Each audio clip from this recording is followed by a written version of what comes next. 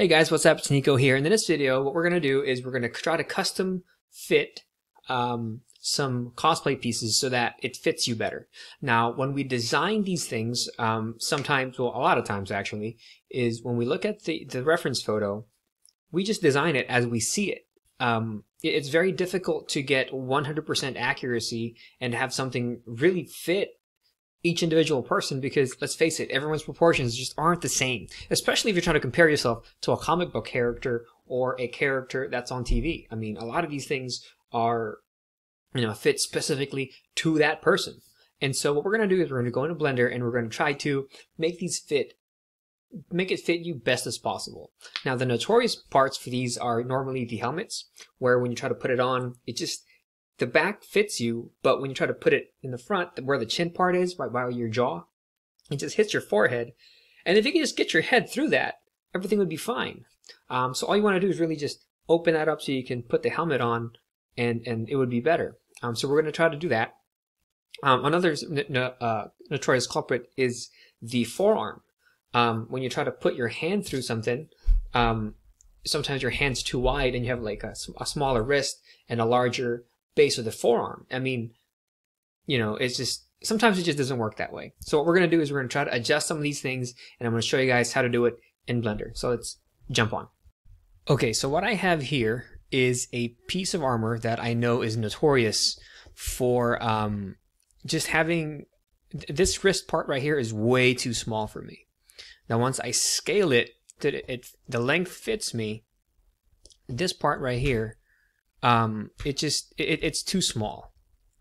Okay, so I'm, I'm, I'm doing some things here. So what I first want you to do is press three.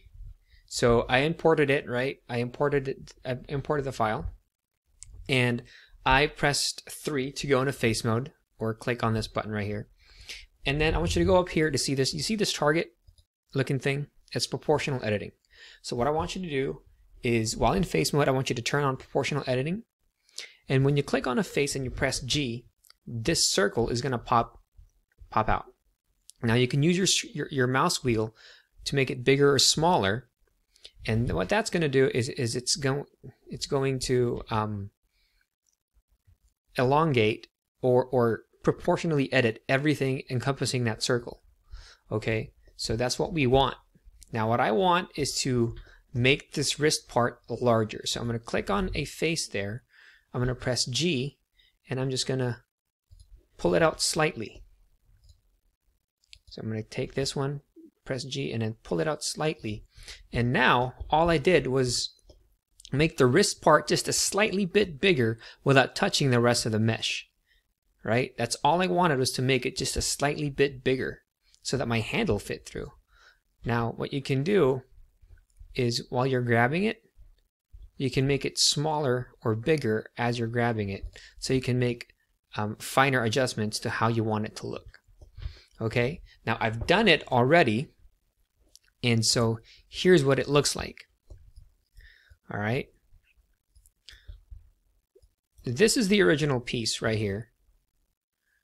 Okay, so the custom one is this thing where I made it wider and the original is this thing. Whoop is this thing. So you guys can see the difference where my hand would actually fit better here because it's, well, your hand is, is flatter rather than, than this part. Okay. So that's how you would do that. You would just basically do the same thing for a helmet. All right. So it, it would do the same thing for a helmet. Okay. So you would press three to go to face mode, click on the face, make sure your proportional editing is on, press G, and your circle should pop out um, and then you just make it larger, right? And now you can move that entire jaw piece. Now, be careful when you do this because you got to do the other side too. Okay? Um, now, I'm not sure how to do it, how to do it yet.